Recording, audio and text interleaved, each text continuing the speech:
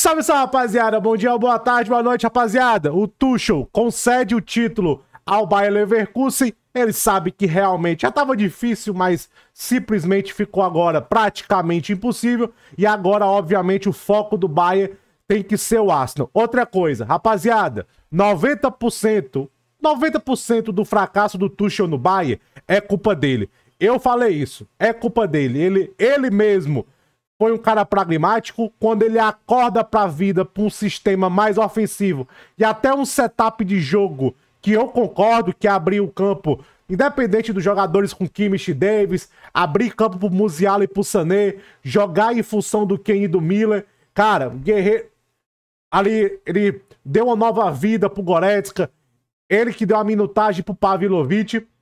Eu acho que o setup de jogo que ele acordou quando já estava demitido, é até um setup de jogo inteligente, mas obviamente os jogadores precisam performar. Novamente, 90% do fracasso do Tuchel no Bayern é dele. Os outros 10%, montagem de elenco, falta dois, duas ou três peças.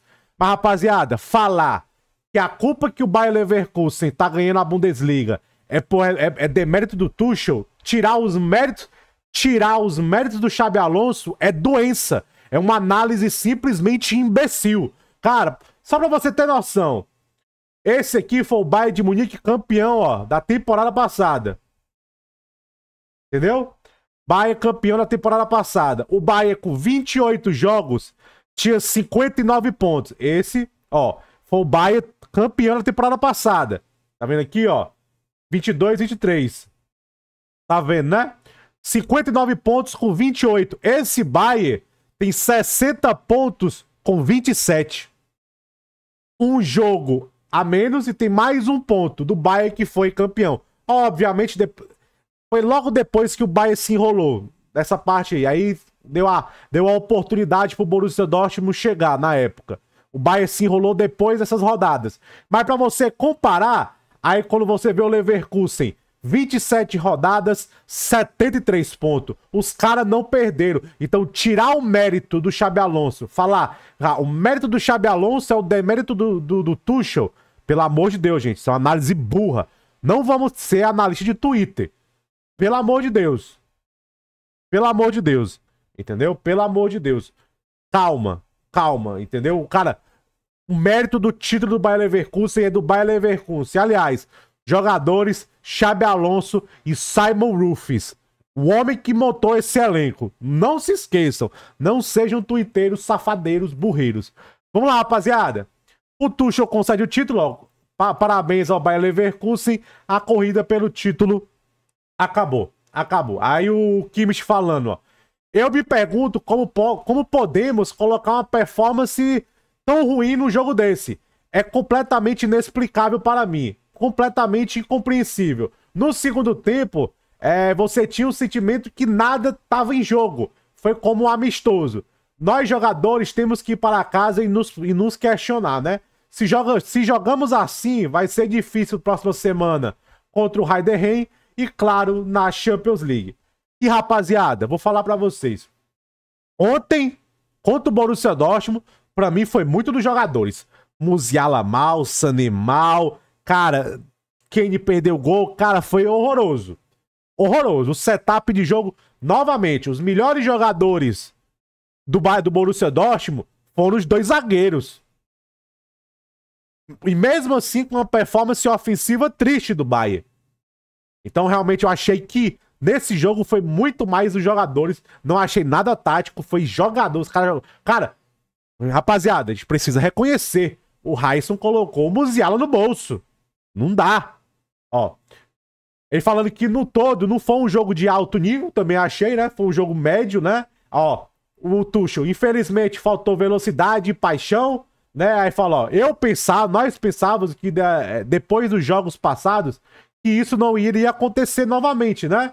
Que nós não ia dar um jogo como foi hoje. Aí fala, aí o, o Thomas Miller, né? Nós não tivemos aquele jogo de poder, aquela intensidade. Você não conseguia ver nos nossos olhos. Aí o Tuchel, muito desapontado com a nossa performance. Nós faltamos intensidade, urgência, faltou comprometimento, faltou fome, faltou fome. Ó, nós vamos conseguir derrotar o Arsenal, mesmo com hoje, mesmo que seja difícil de acreditar, né? É, aí fala, ó. É, tipo, você fala assim, ó. Não é a primeira vez que a gente dá a volta por cima depois de uma. É, não, tipo assim, ele fala que não é a primeira vez que a gente volta com uma boa performance depois de um jogo tão ruim, né? Enfim, rapaziada, nesse jogo contra o Borussia Dortmund, eu coloco muito nos jogadores.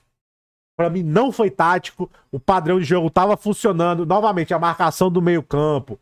Cara, eu achei que o Lime jogou mal, o Lime poderia ter entregado mais. O pessoal fal falou que o Pavlovic fez falta, e é verdade. Quando o Lime joga mal, você sente falta do Pavlovic. Isso é inquestionável. Mas realmente foi uma performance muito ruim do Bayern de Munique. Muito, muito, muito ruim. Muito ruim mesmo. Muito ruim mesmo. E tipo assim, contra o Arsenal, contra o Arsenal, vai ter que vai ter que melhorar. O que pesa a favor do Bayern agora, o que pesa a favor do Bayern, que o Bayern ele tem o que agora? Ele tem cinco jogos. Ele precisa dar vida em cinco jogos. Não pode abandonar completamente a a a Bundesliga, porque você tem que garantir ali ainda a classificação de Champions League. O Bayern vai usar a Bundesliga ali para ganhar, garantir G4, enfim. Mas contra o Arsenal precisa fazer mais. Precisa entregar mais. Rapaziada, apenas complementar aí de Arsenal e Bayern. Rapaziada, obviamente vai vir outro Bayern. Isso quer dizer que o Bayern vai ganhar do Arsenal? Não. Mas esperem outro Bayern. Novamente, eu vou falar para vocês. Na semana que o Atlético de Madrid eliminou a Inter, eles levaram 2 a 0 pro Cádiz. Foi pro Anda. E outra coisa. Quer queira, quer não, é o Tuchel. É mata-mata. O Tuchel sabe que 1 a 0 uma derrota por um gol de diferença, um empate na Aliança Arena, ele pode fazer o Arsenal tremer. Gente, o Arsenal é um time jovem. Apesar do Aston hoje estar no elite europeia, ele é um time jovem. E é um time que sentiu, sentiu o Lens, sentiu o Sevilha, porque quem não viu aquele Sevilha e Aston na Espanha, o Aston sofreu contra o Porto, e é o Porto. O que o Bayern precisa, precisa chegar é com a intensidade nível Champions, cabeça nível Champions, performance nível Champions e o Bayern tem uma chance. Eu falo, é 50-50.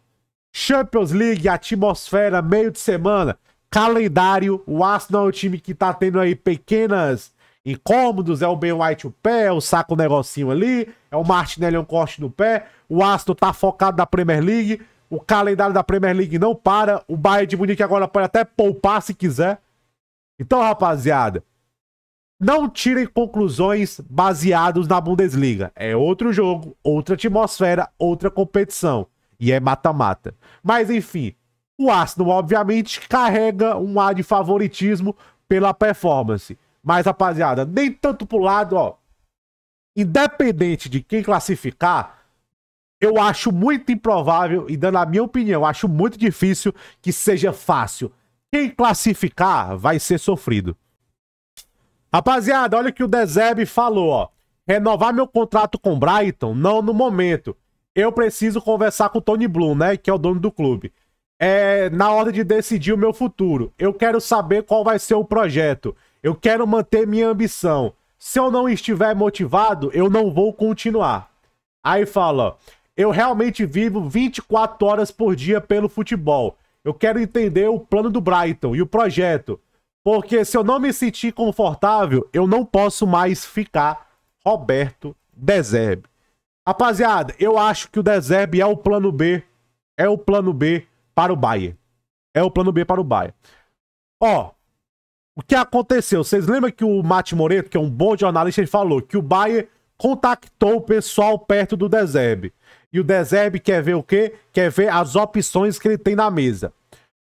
Não é diminuir o Bayern. Já é muito bom deixar claro. Eu tenho uma entrevista aqui no canal com o Sandro Ranieri, que jogou com, com o Dezeb. O sonho do Dezeb sempre foi estar tá na Premier League. O que eu acho?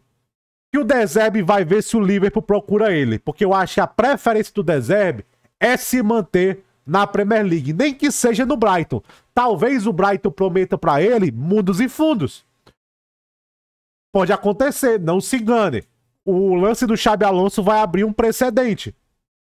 Quando ele fala que quer conversar com o Tony Blue, não acho que seja blefe, porque o Dezeb sabe, gente, como eu até falei, teve a janela por, um pouco por culpa dele, mas o Brighton poderia ter contratado mais para ele, ele sabe disso.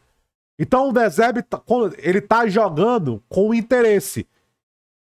Quando ele fala, eu quero saber qual é o projeto do Brighton, vai ter investimento, a folha salarial vai aumentar. A folha salarial do Brighton é das menores da Premier League, rapaziada, por incrível que pareça.